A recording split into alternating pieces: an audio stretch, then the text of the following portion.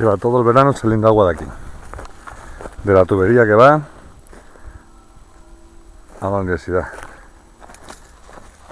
Está claro el borboteo. Y es todo ese verde que va hacia abajo. La de agua que no habrán perdido aquí.